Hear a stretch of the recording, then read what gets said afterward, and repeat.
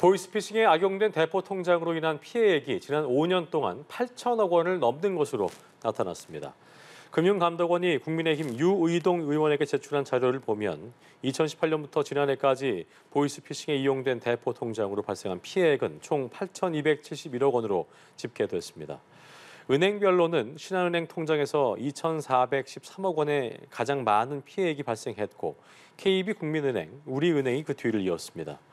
대포 통장이란 명의자와 사용자가 다른 불법 통장으로서 2017년부터 작년까지 6개 시중은행에서 적발된 대포 통장은 15만 건에 달합니다.